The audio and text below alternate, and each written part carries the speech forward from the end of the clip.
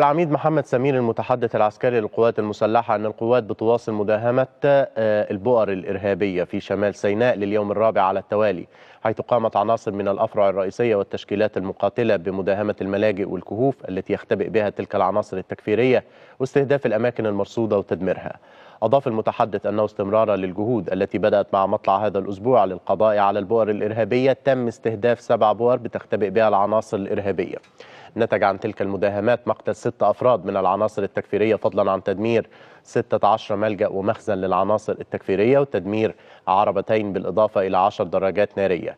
اكتشفت القوات فتحة نفق و11 عبوة ناسفة كما أسفرت أيضا أعمال القتال عن استشهاد اثنين من رجال القوات المسلحة. سيادة اللواء حمدي بخيت الخبير العسكري والاستراتيجي وعضو مجلس النواب ولجنة الدفاع والأمن القومي برحب بحضرتك يا فندم. أهلا بيك أستاذ شريف والساده مشاهدي الحلقة. كيف تتابع العمليات اللي بتقوم بها القوات المسلحة في سيناء الآن؟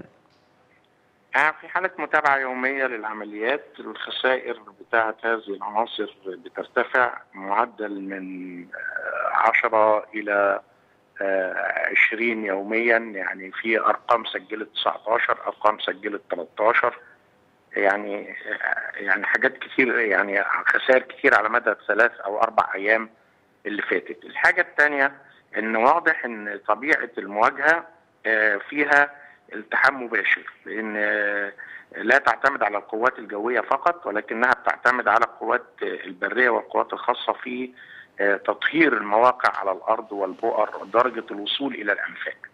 فالكلام ده بي بيوضح إن هذه العمليات بتجرى في إطار تمشيط دقيق وخشن جدا جدا لهذه المناطق التي اكتشف فيها وجود عناصر إرهابية.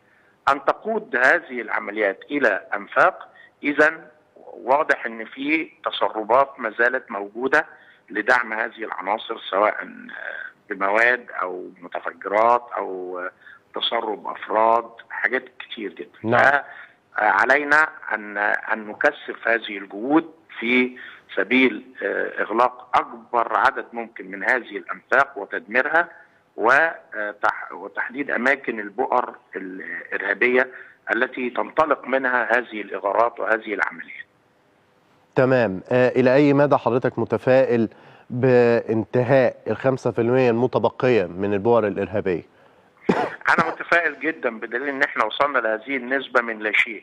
أنا عايز الناس ترجع بذاكرتها إلى من الأول لما كنا ما فيش اقتراب مباشر من هذه المناطق. وكانت العمليات سجال يعني هم بيقوموا بالهجوم كمان. صحيح. النهارده النهارده العمليات بقت عبوات وبقت مركبات مفخخة إذا كان الموقف متفائلا جدا بالنسبة لهم مع عناصر بتهجم. النهارده الكلام ده قل بنسبة كبيرة جدا. في عدة شهور عملية واحدة هي اللي تمت بعربة مفخخة تتقدم ثم ينطلق خلفها عربتان فيهم عناصر إرهابية. فعايزين نقول إن في تطور نوعي في العمليات وعايزين نقول أيضا إن إن في خسائر كبيرة جدا تمنى بها هذه العناصر كما أن أسلوب العمليات كمان بات أكثر قوة وأكثر خشونة وبتتعاون فيه رجعنا للنمط اللي هو تعاون فيه القوات البرية مع القوات الجوية. فكل ده ميزة لطبيعة العمليات ونتائجها وإن شاء الله الفترة اللي جاية وأنا قلت هذا الكلام من أول يوم يعني يوم السبت اللي فات قلت إن إن نتائج هذه العملية سوف تسفر عن حصيلة كبيرة جدا من هؤلاء المجرمين يتم اغتيالهم والقضاء عليهم بالإضافة بقى إلى الخسائر المادية الأخرى اللي إحنا عمالين بنحصيها زي المخازن وزي عربيات الدفع الرباعي اللي تعدت حتى الآن 15 عربية بما فيهم السبعة بتوع تاني يوم فالموضوع ماشي بمعدل عالي جدا ولو أن الاشتباك فيه مباشر. يعني وده لذلك في بعض الخسائر اللي بتحدث في جانب قواتنا. تمام.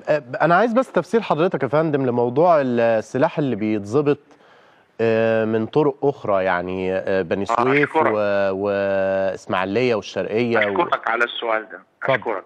ده بيؤكد ده بيؤكد إن عمل العناصر الإرهابية ليس على خريطة مستطيل الطوارئ اللي في سينا فقط مم. لكن هي ما بيحاولوا دعمها من أي اتجاهات أخرى لأن الاتجاهات بتاعة الأنفاق نضبت.